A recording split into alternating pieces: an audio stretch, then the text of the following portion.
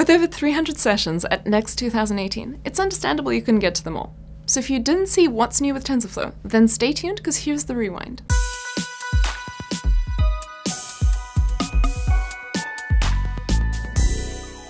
So what's TensorFlow?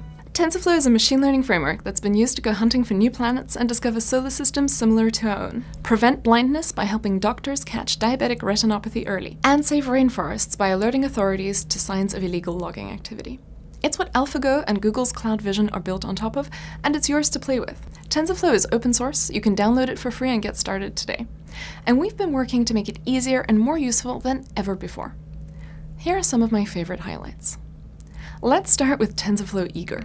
If you tried TensorFlow in the old days and ran away screaming because it forced you to code like an academic or alien instead of like a developer, there's great news for you. TensorFlow Eager Execution lets you interact with it like a pure Python programmer.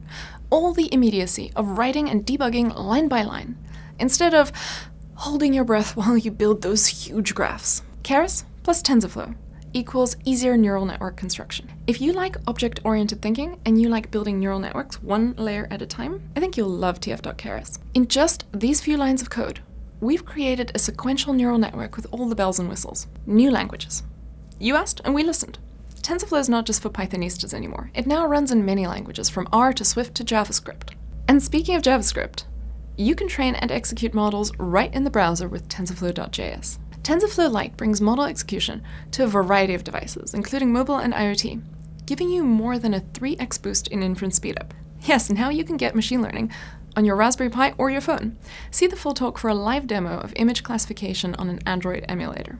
Satisfy your need for speed with cloud TPUs. If you're tired of waiting for your CPU to finish churning through your data to train your model, you can now get your hands on hardware specially designed for the job. And we've just announced the V3 TPUs in alpha. Next, make your input processing more expressive and efficient with the tf.data namespace.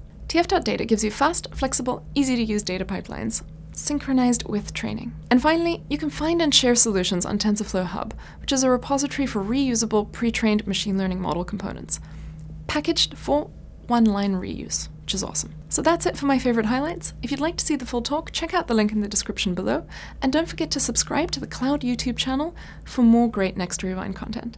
Thanks for watching.